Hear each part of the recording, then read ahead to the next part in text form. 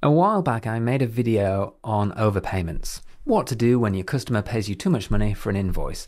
If you haven't seen that video, do check it out. I'll put a link to it in the description and at the end of this video. Recently, I've been getting quite a few questions on how to deal with the cash refund that you make to your customer when they've paid you too much money. So that's what we're going to look at in today's video. So in this example, my customer Bayside Club paid us too much money. We've created an overpayment transaction. And here it is.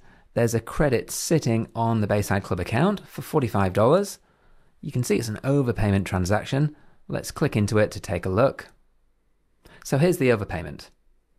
I've just refunded the customer. I've done a bank transfer. That's now gone through. Let's look at how to deal with that in Xero.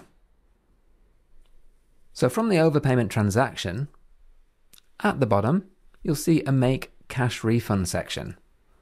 We're going to refund the full amount. I'll put in today's date, just hit the Tab key.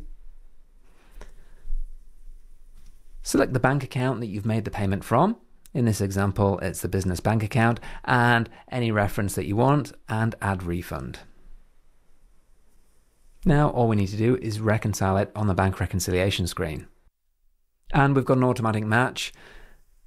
On the left, you'll see the payment for $45. That's the payment we've made to refund the customer. It's automatically matched it to the overpayment transaction on the right hand side. All you need to do is click OK to reconcile. So short and sweet, very easy once you know how, how to make a cash refund. Hopefully you enjoyed this video. Please give it a like if you did, and I'll see you again next time.